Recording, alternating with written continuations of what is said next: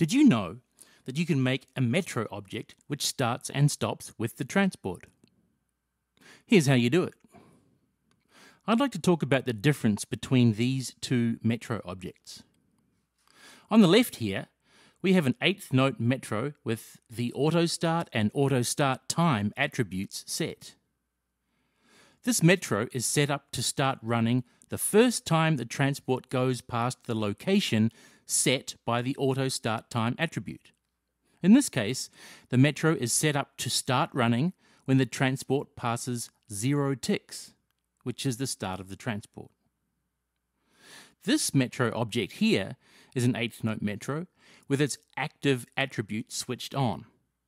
What this means is that the metro is active and it will just start and stop whenever the transport starts and stops, wherever it's located.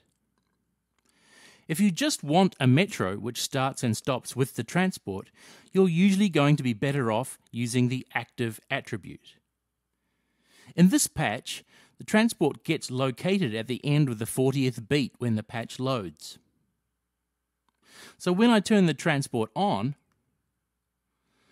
the metro on the left doesn't start because we haven't gone past zero in the transport yet.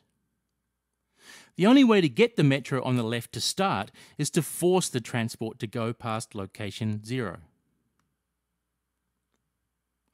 The metro object works this way in both Max and in Max for Live.